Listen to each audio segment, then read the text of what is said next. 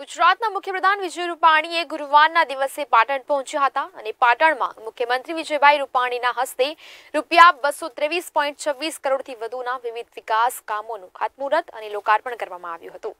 પાણી પુરવઠા વિભાગના એકસો સત્તાણું પોઈન્ટ સિત્યાસી કરોડના કામોનું મુખ્યમંત્રીશ્રીએ ઓનલાઈન ખાતમુહૂર્ત કર્યું હતું.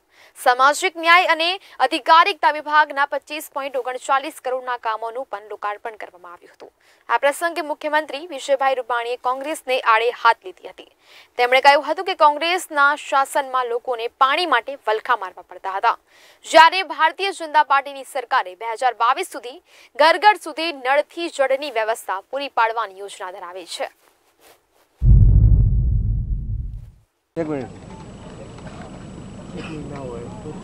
પાટણ જિલ્લામાં લગભગ સવા બસો કરોડ રૂપિયાના કામોના લોકાર્પણ અને ખાતમુહૂર્ત થયા છે.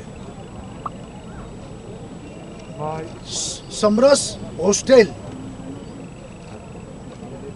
ગુજરાતની સામાજિક સમરસતા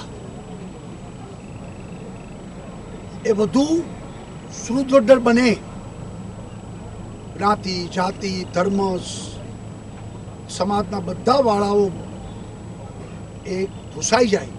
અને સૌ એક ગુજરાતી તરીકે, એક ભારતીય તરીકે બધા સાથે રહે, વિદ્યાર્થીઓ સાથે ભણે.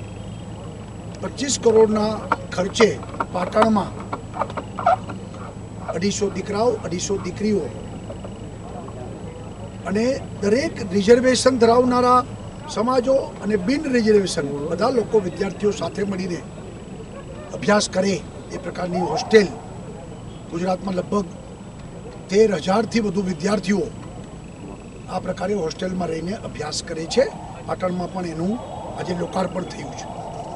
દરેક ચાલુ જ છે. કિસાન સૂર્યોદય યોજના જાન્યુઆરી વીસ સુધીમાં ચાર હજાર ગામડાઓ કવર કરવામાં આવશે. ત્યાર પછી તબક્કામાં આ બધા થશે. બે હજાર બાવીસ સુધીમાં તમામ ગામડાઓમાં દિવસે વીજળી એ ચાલુ